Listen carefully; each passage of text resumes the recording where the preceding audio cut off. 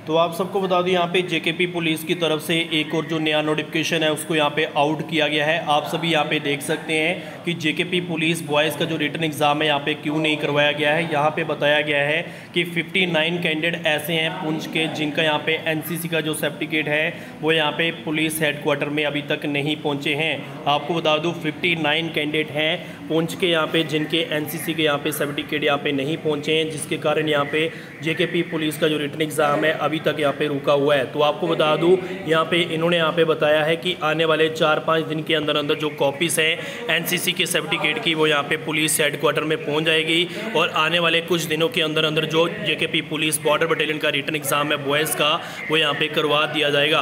तो बाकी आगे कोई भी अपडेट आती है आपके रिटर्न एग्ज़ाम को लेकर, वो आपके साथ शेयर कर दी जाएगी।